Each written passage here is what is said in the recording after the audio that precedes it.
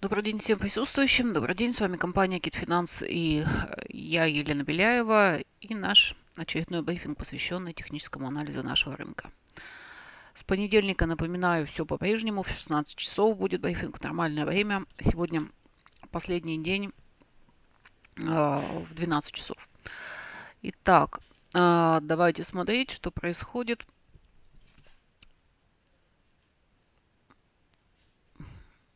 Какие сейчас изменения. То есть сейчас э, все э, определяется на э, рынке движениями нефти. И мы видим, что у нас индекс ММВБ совсем в недалекой перспективе, буквально вот 7 числа, он у нас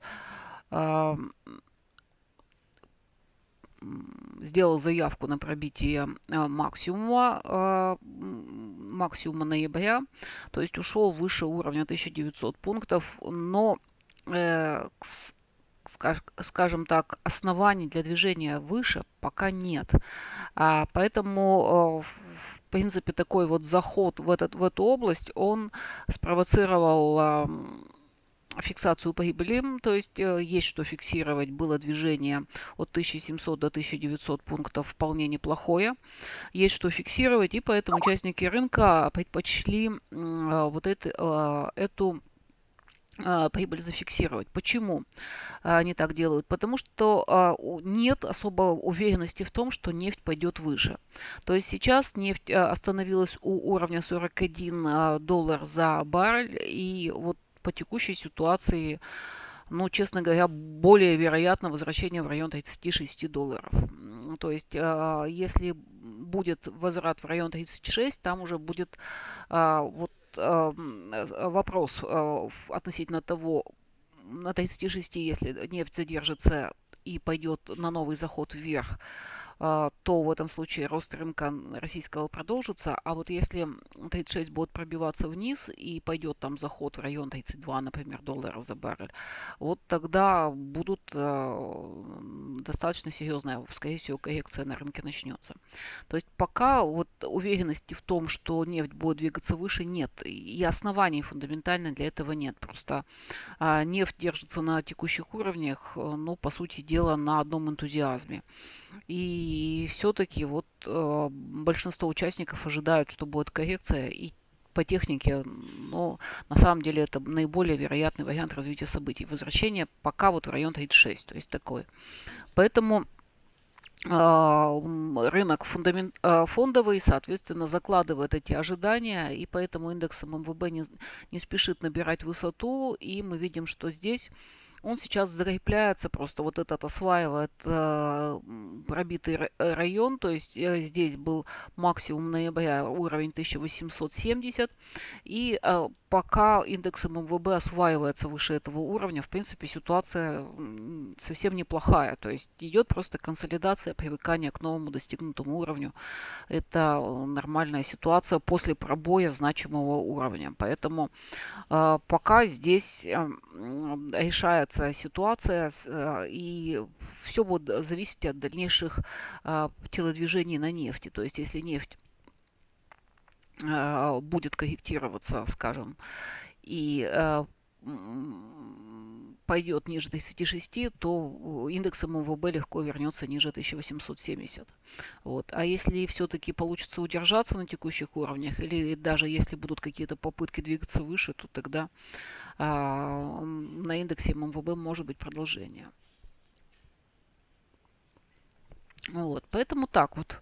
То есть на нефти, в принципе, пока есть э, такое ощущение, что нефть, она все-таки нащупывает э, дно, то есть она э, разворачивается, но это такой глобальный разворот такого долгосрочного тренда, он не может произойти быстро. То есть это нужно несколько месяцев для этого. Поэтому нефть, скорее всего, еще помотает нервы и будет, может быть, заход. И я думаю, что а, даже, а, скажем, там оптимистичный сценарий к 30 долларов э, будет заход. Мне кажется, еще а, будет, а, ну, скажем так, повод для беспокойства. Вот, поэтому о, там все развивается по нормальному сценарию разворотному, а, но долгосрочные тренды, они требуют время, чтобы развернуться. Вот. Поэтому индекс МВБ и не э, чувствует себя особо уверенно. Здесь э, тоже есть, э, чувствуются сомнения участников.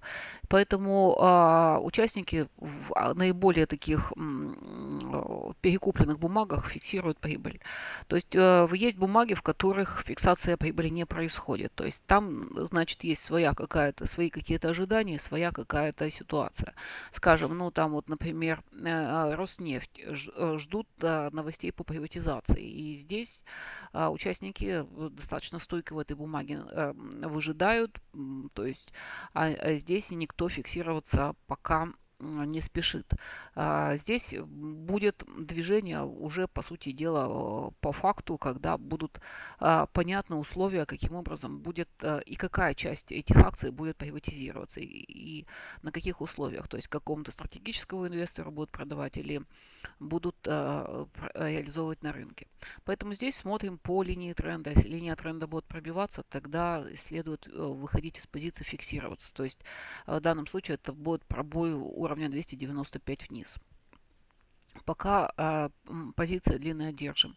По Сбербанку тоже достаточно стойко держатся бумаги в районе 110 э, рублей за бумагу. Уровень тоже очень прочный, очень э, э, такой очевидный. То есть э, на этом уровне, это уровень вообще исторического максимума. То есть э, понятно, что он все равно должен когда-то быть пройден, потому как с условием а, в пересчете на инфляцию это совсем не те 110 рублей, которые были а, раньше, поэтому движение должно быть выше. Но а, пока вот этот вот уровень не получается пройти, но и корректироваться участники рынка не согласны. То есть у них все-таки есть намерение дождаться продолжения движения, и они в этом уверены, и поэтому позиции никто не фиксирует. Поэтому тут тоже длинная позиция пока сохраняем. А, коррекционное настроение зато мы э, видим в акциях «Газпрома». То есть там вот уже третий, э, третий день, по сути дела, есть, идет коррекция. Но тоже а, пока э, вот это вот движение пока выглядит как коррекционное. То есть здесь пока нет уверенности в том, что а, в общем-то, слом, слом этого тренда обязательно произойдет. А, те, кто зафиксировались у уровня 150, в принципе, были правы совершенно. А, и сейчас нужно ждать подхода к линии тренда и, соответственно, смотреть, что будет происходить. Будет либо отбой от линии тренда, либо будет пробой. Поэтому Сейчас каких-то новых позиций открывать не стоит. Э, если позиции были закрыты по 150, просто ждем момента, если будет отбой от линии тренда, то снова будут позиции открываться. А если позиции остались длинные, ну, сейчас уже тоже смысла нет их закрывать. То есть, опять-таки, ждем подхода к линии тренда, тогда будем смотреть. А, тоже такие же коррекционные настроения в Лукойле. Здесь, по сути дела, вот уже и линия тренда пробита. То есть здесь а, возможно возвращение в район 2600. А, то есть тут тоже, по сути дела, был а, вполне целесообразен выход из а, длинных позиций, фиксация прибыли, потому как так поступает достаточно большое количество участников рынка.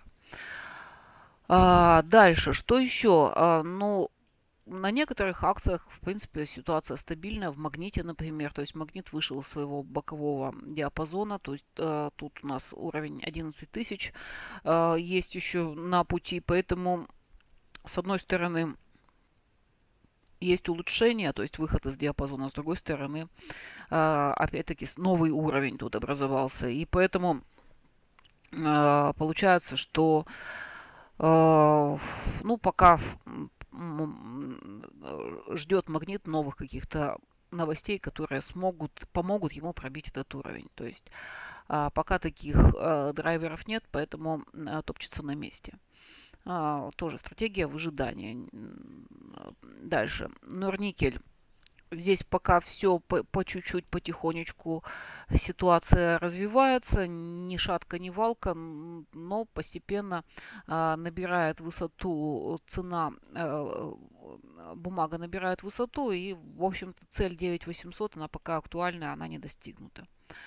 А ВТБ э, тоже пока отрабатывает уровень 7,7 копейки, то есть тут тоже ничего интересного, собственно, не происходит. А, так, МТС пока тоже достаточно стабильно, неплохо держится на достигнутых уровнях. Какого-то развития ситуации нет, к сожалению, но а, будем надеяться, что будет позже и ближе к э, там, дивидендным э, а, отсечкам, там будет что-то происходить. То есть пока не особо впечатляет. Так, что еще посмотреть? Что еще посмотреть? А, ну, давайте, да, вот еще Э, вчера смотрели Аэрофлот, тут достаточно волатильные колебания, тоже вот эти вот новости по приватизации, то есть э, были слухи о том, что Ротенберг э, претендует на контрольный пакет э, и согласен купить, то есть здесь тоже такие движения достаточно волатильные, то есть сначала была такая резкая фиксация прибыли, потом снова покупки, то есть здесь ну, достаточно такая нервная ситуация, в которую возможно, смысла нет вмешиваться уже. Вот на, текущем, на текущих уровнях уже э, э, это получается а, слишком как бы эмоциональное это движение и а, плохо анализируемое. Так, а, система. Система, давайте смотреть, что у нас здесь. Вот в системе, помните, мы наблюдали с вами довольно-таки долгую вот эту историю, был 17-18 с половиной вот этот диапазон. Внутри этого диапазона был еще один вот такой вот еще более узкий 17 и 3 и 17,9. То есть вот был сначала выход из э, диапазона внутреннего, и, соответственно, сейчас цена ушла э, выше уровня 18,5. То есть есть тут такие позитивные подвижки, скажем, и имеют э, место, то есть, по сути дела, какое-то вот начальное движение вполне а, может быть. То есть сейчас где-то ситуация будет стремиться развиваться в район 20 рублей, скорее всего. А, то есть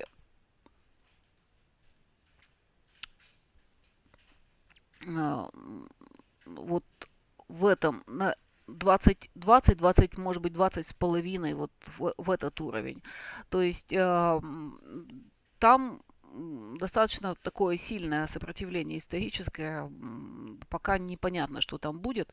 Поэтому вот э, то, что сейчас э, можно здесь рассчитывать и что ожидать, это вот э, продолжение движения, возможно, вот в район где-то там 20 рублей или 20 с половиной.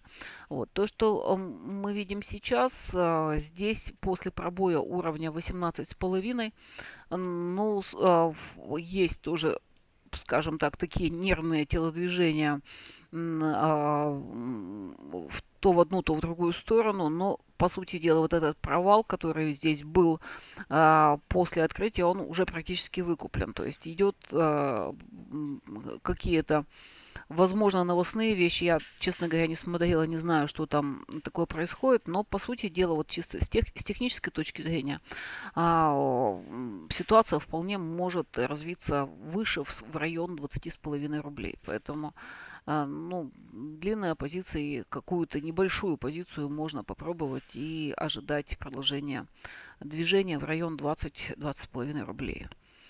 Так, Уралкали. Уралкали, мне кажется, что вообще надо, в общем-то, забыть как бумагу и просто перестать на нее обращать внимание, потому как а, а, компания в принципе движется в сторону того, чтобы перестать быть публичной компанией. Они произвели делистинг в Лондоне, они выкупают акции а, на нашем рынке, фрифлот снижается, то есть там остались какие-то жалкие ошметки на рынке, остатки акций. То есть здесь нет э, ни анализируемости, ни ликвидности, поэтому я думаю, что, в общем-то, с Уралкалием надо уже э, попрощаться, и, скорее всего, он будет в ближайшее время исключаться из различных индексов, потому как а, ну, бумага, по сути дела, перестает быть публичной по, по смыслу, по своему. То есть э, в а, обращении остаются ну, какие-то небольшое количество акций. Вот. А, поэтому тут ситуация каким-то образом какие-то движения здесь есть, но я не думаю, что вот есть смысл в этих движениях э, принимать участие. Не знаю, смотрите сами, конечно.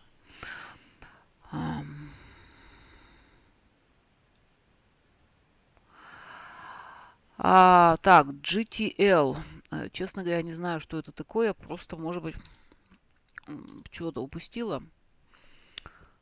А.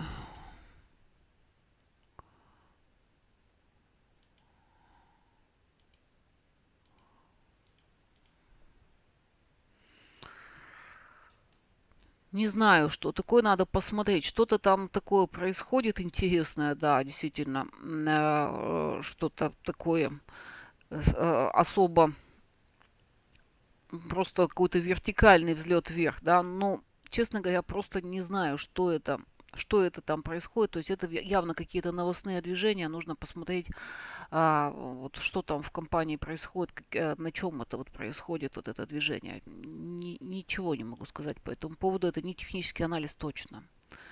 Да, я вижу, да, что там 30-40%, там что-то внутри компании, есть какие-то новости, надо смотреть. Это новостное движение, это не связано с техническим анализом точно.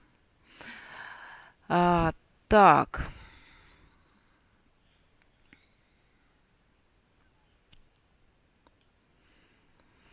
Почему наш рынок третий день подряд падает, несмотря на то, что Европа и США растут все эти дни, нефть тоже растет. Нефть не растет на самом деле, и она стоит на месте. И рынок тоже наш не падает, он тоже стоит на месте. Там идет просто фиксация прибыли, а, потому как двигаться выше они могут. В принципе, нормальная, адекватная ситуация. Мне кажется, что все вполне логично, то, что происходит. Так, давайте посмотрим на а, вот на рынок срочный, то есть здесь тоже вот интересная ситуация.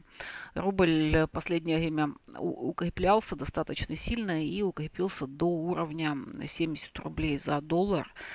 И а, вот, а, ну, скорее всего, надо на споте это дело смотреть, потому как здесь лучше понятно ситуация не фьючерсная, а спотовая. А здесь очень сильный вот этот тут уровень э, в районе 70 рублей, 70-69 где-то вот в этом районе. Здесь, по, по, по сути дела, как минимум, а, ну, то есть, может быть, э, в дальнейшем рубль укрепится и больше, может быть. Но вот сейчас, в текущей ситуации, более вероятен отскок от текущих уровней, эм, ну, там, в район 73-74 рубля. Вот. И а потом уже будет ситуация зависеть от того, что будет с нефтью. То есть, если Э, нефть пойдет выше 41 доллара за баррель, то и рубль сможет укрепиться а, больше, то есть мы можем увидеть там уровень и там 66 рублей, возможно 66-67. Вот, но а, это пока вот, а, вот в ближайшей перспективе все-таки больше вероятность того, что будет а, именно такой коррекционный, по крайней мере, пока будем рассматривать как коррекционный отскок здесь. И вот так предположительно, вот линия у нас есть вот этого краткосрочного тренда предположительно до этой линии пока. Там дальше видно будет. Но в общем-то, такого сильного укрепления рубля дальше а, от текущих уровней, скорее всего, не будет. То есть должна произойти сначала коррекция, а потом только, возможно, будет продолжение. А, так, что еще? А, что еще? Ну, и, соответственно, фьючерс на индекс РТС. А, у нас остается здесь э, пока все то же самое, о чем мы говорили вчера. То есть есть пробои закрепления выше 80 тысяч. То есть сейчас у нас а, здесь а, вот этот вот старый проторгованный диапазон, вот он есть. Где-то там примерно нижняя часть этого диапазона 81 тысяча, верхняя э, где-то 89, и вот фьючерс закрепился в этом диапазоне и, соответственно, будет его осваивать, э, будет э, здесь продолжать движение. То есть смотрим по текущей ситуации пока тренд восходящий, поэтому, собственно, здесь и а, вот масштаб а, а, этот тренд э, восходящий пока держится, и локальный тренд тоже восходящий. То есть пока э, длинные позиции, есть намеки, вот эта вот дивергенция, она имеет место. Э, намек на то, что Э, будет э, где-то здесь в ближайший момент остановка и, скорее всего, а, возврат, ну, возможно, даже к пробитому уровню там в район 81 тысячи. Вот, но а, пока пока все хорошо, поэтому э, смотрим на предупреждающие сигналы, то есть они просто не дают открывать новых длинных позиций, но длинные позиции открывать, э, держать, продолжать можно. А, так. Вот, а, собственно, наверное, и все. Да, на сегодня. Всем спасибо за внимание и до свидания до понедельника.